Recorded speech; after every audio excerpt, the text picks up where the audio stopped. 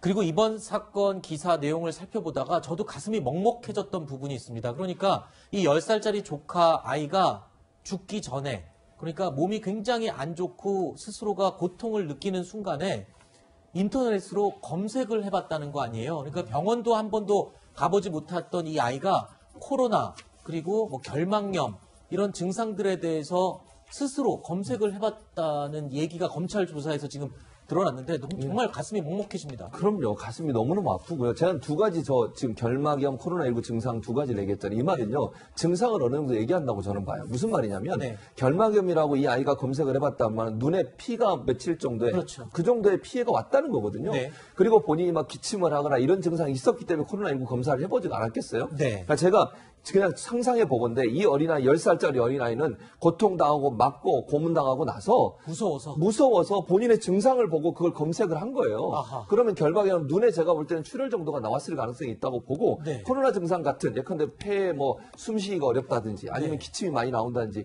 이런 고통이 분명히 수반돼 있었을 거예요. 그렇지 않고 아이가 이런 검색을 할 이유가 없잖아요. 네. 그러면 그 전에 얼마나 많이 고통이 당했으면 네. 이 아이가 이런 고통 가운데 본인이 검색을 할 정도인데 병원을 한 번도 데려간 적이 없잖아요. 이 이모 부부라는 사람들이 제대로 된 사람이라면 어떻게 이런 일을 할 수 있는지 모르겠어요. 저는 도저히 이해가 안 되고 이 아이가 얼마나 큰 고통에 빠져 있는지를 볼 수 있는 아주 단적인 예라고 보여집니다. 네. 자, 그리고 지금 이모 집에서 숨진 이 10살 아이, 친모가 사실 뭐 생계 때문에 언니 집에 맡겼다가 이 변을 당한 거다. 이렇게 지금 언론에는 알려지고 있는데, 경찰이요, 이 아이를 맡긴 친모에 대해서도 방임 혐의로 지금 조사를 하겠다. 이런 입장을 밝혔어요. 이게 어떤 내용이죠? 아, 네. 그 아동복지법에 보면은 금지 행위로 뭐 학대 있고 방임 행위 있고 이런 것들이 이렇게 쭉 나열이 돼 있거든요. 네. 그러니까 엄마는 아이를 양육하고 보호할 책임이 있는 사람인데 방치했으면 여기 방임에 걸리는 거예요. 근데 네. 학대나 방임이나 그 법정형은 똑같지만은 실제 구체적으로 학대를 나간 거랑 아니면 방임만 한 거랑 분명히 그 나오는 형은 다를 텐데 네. 이 친모 같은 경우에는 아이를 맡긴 지 세 달 정도 됐다는데 그 중간에 이모가 엄마한테 문자를 보냈다는 거예요. 아이가 네. 말을 안 들어서 네. 때렸다고. 그러면은 그 이모의 어떤 성격이라든지 가정 상황, 그 다음에 그 때렸다는 게 어떻게 때렸다는 건지 친모가 분명히 인식할 수 있었던 상황이 있음에도 불구하고 아이를 계속 그 집에 놔뒀다는 거기 때문에 이거는 아하. 일단 방임에 해당이 그렇군요. 되지만 수사 결과에 따라서 학대 공범으로도 바뀔 수가 있습니다. 아, 그렇군요.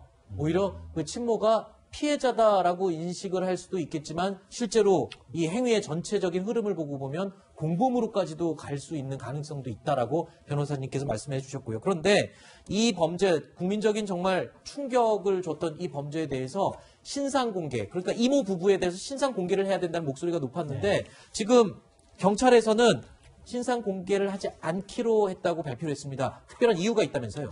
이유는 그 이모 부부가 네. 자녀가 세명 있어요. 아, 친자식이. 그렇습니다. 그리고 숨진 A 양의 오빠가 있어요. 아하. 그러니까 아이들이 한 네 명 있는 거죠. 아, 이게 그 이모 부부에 대해서 신상이 공개됐을 경우에 이 아이들이 2차 피해를 받을 수밖에 없다라는 것 때문에 공개하지 않기로 한 것 같습니다. 네. 근데 하지만 이미 우리 이모부 부부가 그리고 우리 엄마 아빠가 우리 이 친구를 결국에는 죽였다, 살해했다 아하. 이러한 얘기들이 지금 언론에서 많이 나오잖아요. 그러면은 그 아이들이 받을 상처가 그 트라우마가 너무나 클 것 같아요. 사실 그 아이들이 죄가 있는 건 아니니까요. 그렇죠. 2차 피해가 우려가 되기 때문에. 네, 이미 보도된 것들만 봐도 그 아이들에게 받은 상처는 너무 클 것 같다는 생각이 들고요. 네. 저는 이 땅에 모든 부모님들께 드리고 싶은 말씀이 있어요. 네네.